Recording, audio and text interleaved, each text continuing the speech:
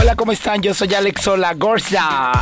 Hola, Edgar Márquez y los invitamos a escuchar Jotas y Reinas. ¿Y tú qué eres? Yo soy las dos cosas al mismo tiempo de la visconversa. Bien intensa siempre. Clarita la de Heidi.